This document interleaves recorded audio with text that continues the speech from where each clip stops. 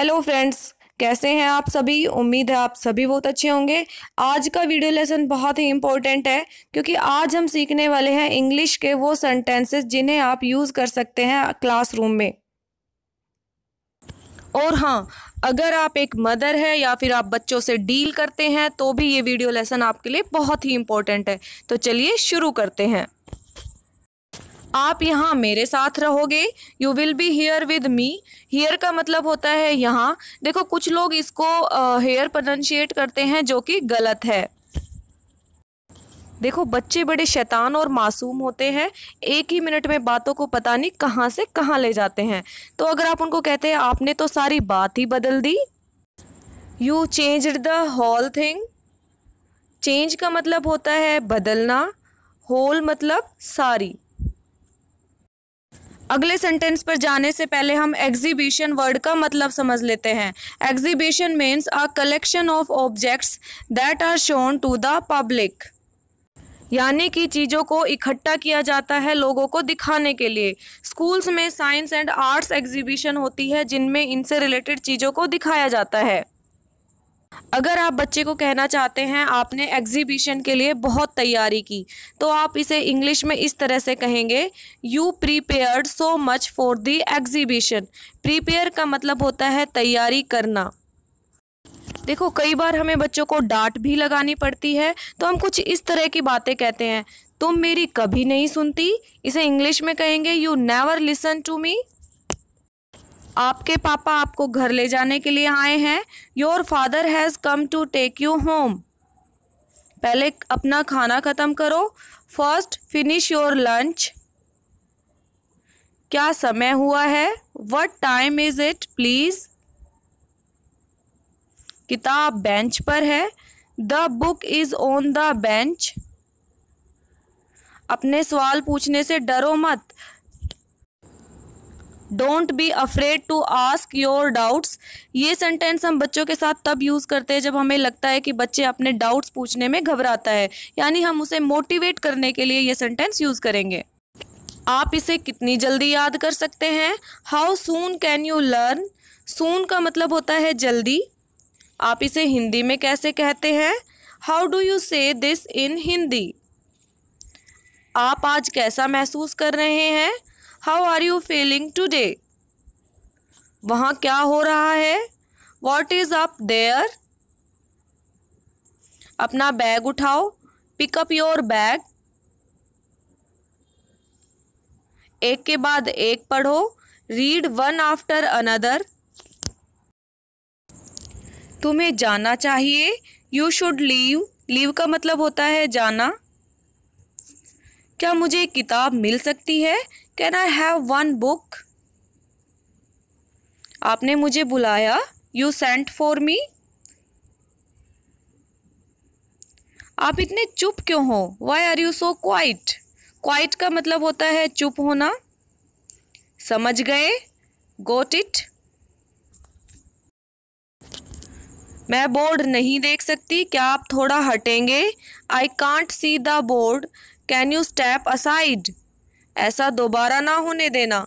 Don't let it happen again देखो, बच्चे तो बच्चे होते हैं, थोड़ा भी अब मौका अगर उन्हें मिलता है तो वो बोलना शुरू कर देते हैं। अगर आप बच्चों को क्लास से कहीं बाहर ले जा रहे हैं और उनको कहते हैं कि चुप रहना, दूसरी क्लास से चल रही है तो आप उसे इंग्लिश में कैसे बोलेंगे? Be quiet as you leave other classes are still working इसे अपने शब्दों में समझाएँ।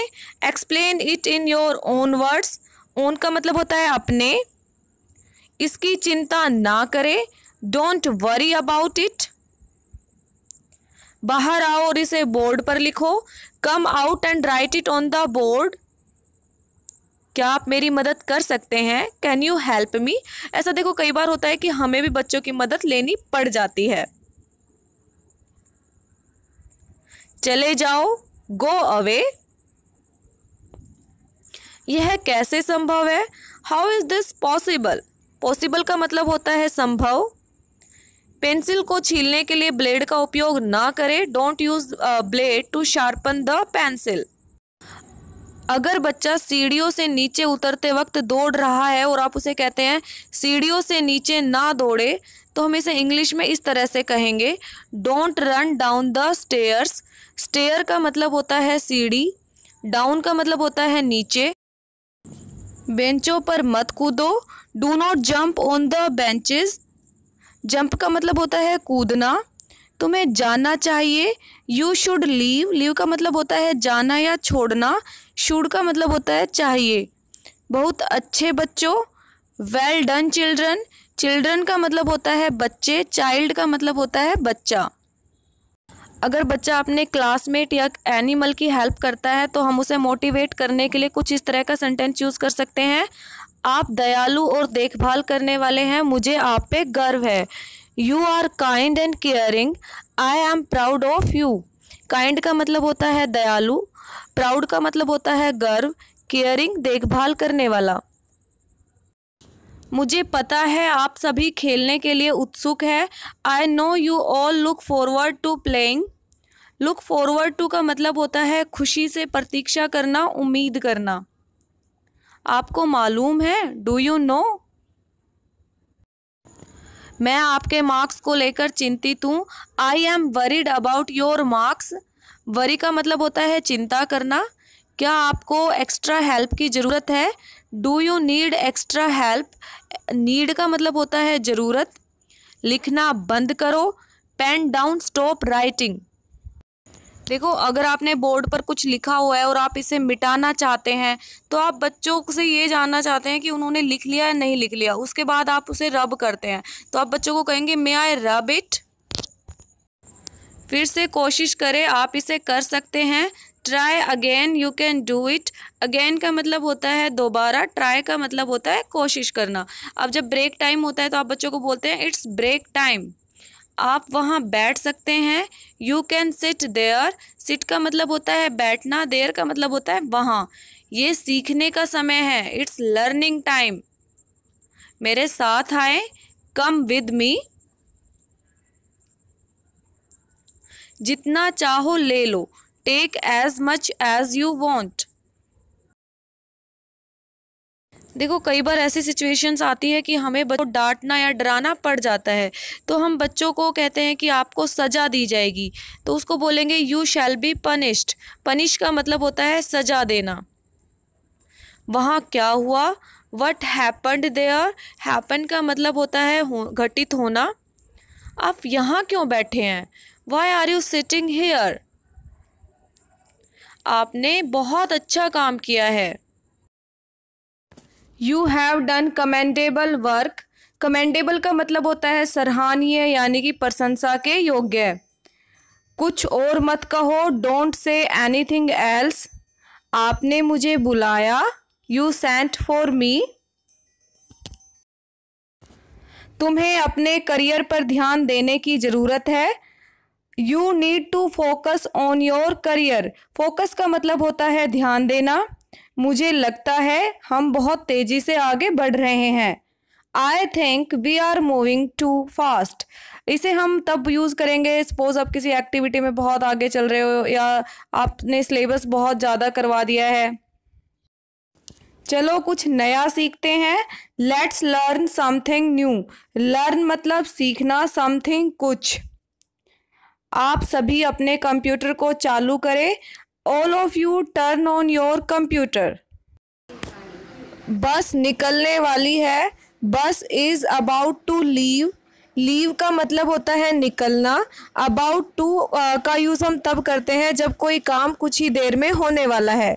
वह अपने माता पिता की पहली संतान है. He is the first born of his parents first born का मतलब होता है पहली. एक बार में केवल एक ही टॉपिक पढ़े at one time study only one topic आपको सोशल मीडिया पर अपना समय बर्बाद नहीं करना चाहिए। You should not waste your time on social media बैठ जाइए सेटल डाउन अपने हाथों को ऊपर करो रेज योर हैंड्स गर्म मौसम के कारण स्कूल की छुट्टियाँ एक सप्ताह के लिए बढ़ा दी गई है। Due to the hot weather school holidays has been extended for a week due to का मतलब होता है कारण हॉट वेदर गर्म मौसम। एक्सटेंड का मतलब होता है बढ़ाना। अपने बैग या पेंसिल बॉक्स में नुकीली चीज़ें ना रखें। Don't keep sharp edged items in your bag और पेंसिल बॉक्स शार्प एज्ड का मतलब होता है नुकीली। कीप का मतलब होता है रखना। आइटम्स का मतलब होता है चीज़ें। एक दूसरे पर डस्टर ना फेंके। Don't throw duster at one another देखो, यहाँ मैं आपको एक बात बताना चाहूँगी।